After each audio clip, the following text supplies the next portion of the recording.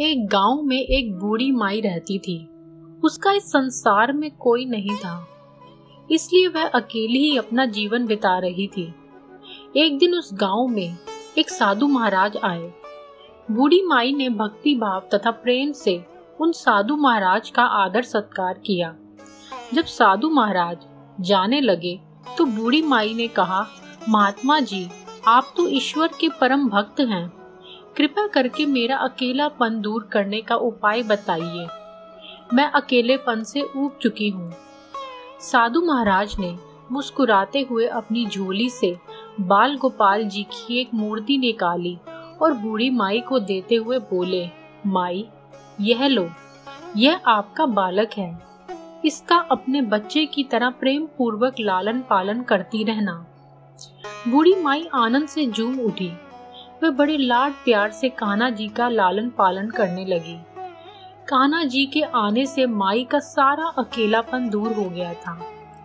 उसका पूरा दिन कान्हा जी की सेवा में बीतने लगा।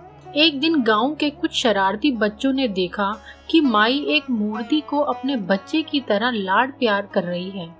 नटखट बच्चों ने माई का उपहास उड़ाया तथा बोले, माई, जंगल से एक भेड़िया गाँव में घुस आया है। जो छोटे बच्चों को उठाकर ले जाता है और मारकर खा जाता है। तुम अपने लाल का ध्यान रखना।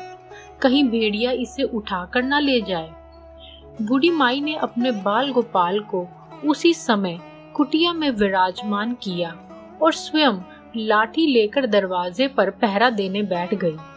अपने लाल को भेड़िए से बचाने के लिए बूढ़ी माई भूखी प्यासी दरवाजे पर पहरा देती रही। पहरा देते देते एक दिन बीता, फिर दूसरा, तीसरा, चौथा और पांचवा दिन बीत गया। बूढ़ी माई पाँच दिन और पाँच रातें लगातार बगैर पल के झपकाए अपने बाल गोपाल की भेड़िए से रक्षा करने के लिए पहरा देती रही।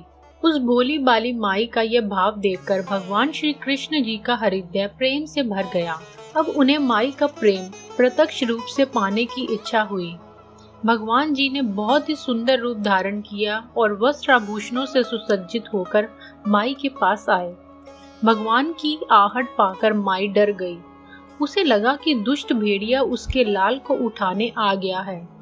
माई ने लाठी उठाई और भेड़िए को भगाने के लिए उठ खड़ी हुई।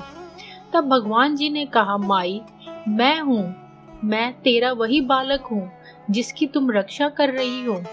माई ने कहा यह नहीं हो सकता। तुम जहाँ से आए हो, वहीं लौट जाओ। मैं तुम्हें अपनी कुटिया में घुसने नहीं दूँगी। मेरे लाल के समान इस संसार में कोई दूसरा हो ही नहीं सकता। भगवान जी माई का ये भाव और एक निष्ठा देखकर और अधिक प्रसन्न हो गए। भगवान अपने वास्तविक रूप में प्रकट हो गए और बोले, मेरी भोली माई, मैं श्री कृष्ण हूँ। मैं तुम्हारी भक्ति से बहुत प्रसन्न हूँ। मुझसे जो चाहे वो वर मांग लो। यह सुनकर माई भगवान श्री कृष्ण के चरणों में गिर पड़ी और बोली, मैं आपको सो सो प्रणाम करती हूँ।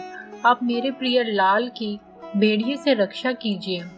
अब ठाकुर जी और अधिक प्रसन्न होते हुए बोले, चलिए माई, मैं आपको और आपके लाल को अपने निज धाम में लिए चलता हूँ। वहाँ भेड़िए का कोई भय नहीं है। इस तरह प्रभु बूढ़ी माई को अपने निज धाम ले गए।